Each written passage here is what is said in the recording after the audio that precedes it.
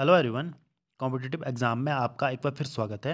आज मैं आपके लिए एच पी जी के कुछ इंपॉर्टेंट क्वेश्चन लेके आ गया हूँ। इसमें हम पंद्रह क्वेश्चनों को डिस्कस करेंगे, जो आपके आने वाले सभी एग्ज़ामों के लिए इंपॉर्टेंट रहने वाले हैं। अब आपको पता है कि सीएम के द्वारा ऐलान भी किया गया है कि मार्च से पहले आपकी दस हज़ार के करीब पोस्टें भरी जाएँगी, जिसमें आपकी सबसे ज़्यादा टीचिंग में रहेंगी। उसके बाद आपकी पुलिस आपके जेओआईटी और आपके पंचायत सेक्रेटरी और अन्य कई पोस्ट इसमें हो सकती हैं। तो आप को पता है कि एच पी जी के का इन एग्ज़ामों में काफ़ी इंपॉर्टेंट रोल रहता है क्योंकि यही जो आपके मेरिट को बनाते हैं और बिगाड़ते भी हैं। तो आप इसीलिए अपने जो एच पी जी के है, उस पोर्शन को आप अपना स्ट्रॉन्ग कर सकते हो ताकि आपके जो सिलेक्शन के चांस ईजी हो जाते हैं। तो चलिए, आज का ये वीडियो हम शुरू करते हैं। इसमें जो फ़र्स्ट क्वेश्चन है, वो है मंडी की बल घाटी किस पहाड़ी क्षेत्र में आती है? यानी कि जो मंडी की जो बल घाटी है, ये किस पहाड़ी क्षेत्रों में आती है? तो ये आती है निमन पहाड़ी मिट्टी। तो आपको पता होगा, ये हिमाचल प्रदेश की सबसे ज़्यादा फर्टाइल जो ज़मीन मानी जाती है बल की, क्योंकि यहाँ सबसे ज़्यादा उत्पादन होता है और काफ़ी अच्छा उत्पादन यहाँ पर होता है। तो सबसे फर्टाइल ये आपके पास है बल घाटी। नेक्स्ट क्वेश्चन है।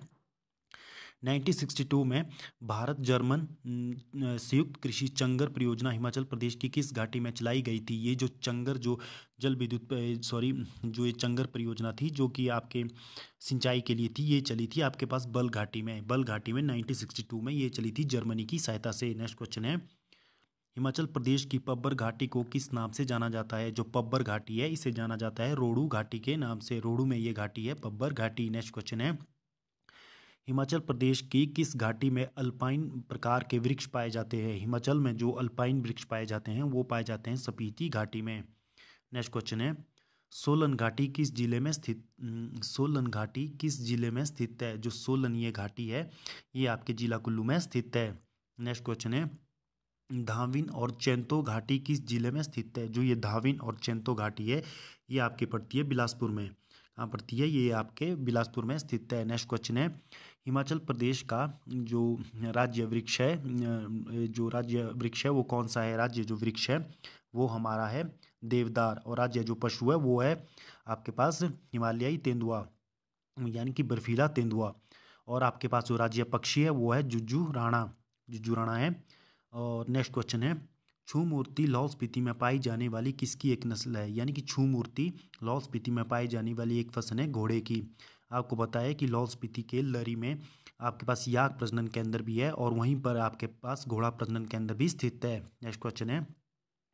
हिमाचल प्रदेश के राज्य पक्षी का नाम क्या है? अभी मैंने आपको बता दिया था हिमाचल प्रदेश का जो राज्य पक्षी है, वो है जुज्जू राणा। उससे पहले हुआ करता था मोर, मुनाल सॉरी मुनाल हुआ करता था। नेक्स्ट क्वेश्चन है। जुज्जू राणा प्रजनन केंद्र कहाँ स्थित है? यानी कि जो जुज्जू राणा का जो ये प्रजनन केंद्र है, ये आपके पास रामपुर के सराण में स्थित है। नेक्स्ट क्वेश्चन है, हिमाचल प्रदेश का राज्य प्राणी है? यानी कि हिमाचल प्रदेश का जो राज्य पशु है, वो आपके पास है हिम तेंदुआ। नेक्स्ट क्वेश्चन है, हिमाचल प्रदेश के कुल कितने प्रतिशत भाग में चरगा, चारागाह है? हिमाचल प्रदेश के लगभग बारह परसेंट जो भाग परसेंट भाग है, उसमें चारागाह है। नेक्स्ट क्वेश्चन है हिमाचल प्रदेश के कुल क्षेत्रफल का लगभग कितने प्रतिशत भाग वनों के अंतर्गत आता है? हिमाचल प्रदेश के कुल क्षेत्रफल का जो भाग है वो लगभग छियासठ परसेंट भाग जो है आपके वनों के अंतर्गत आता है।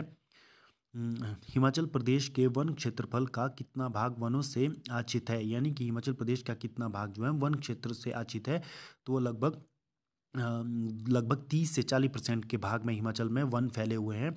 लगभग लेकिन जो छियासठ परसेंट भाग है, उस पर वन लगाए जा सकते हैं। नेक्स्ट क्वेश्चन है। वन रिकॉर्ड के अनुसार हिमाचल प्रदेश का कुल वन क्षेत्रफल कितना है? हिमाचल प्रदेश के रिकॉर्ड के अनुसार जो है, हिमाचल के पास सैंतीस हज़ार तैतीस वर्ग किलोमीटर वन क्षेत्रफल है, जिसमें वन लगे हुए हैं। तो आज ये क्वेश्चन मैं आपके लिए लेके आ गया था।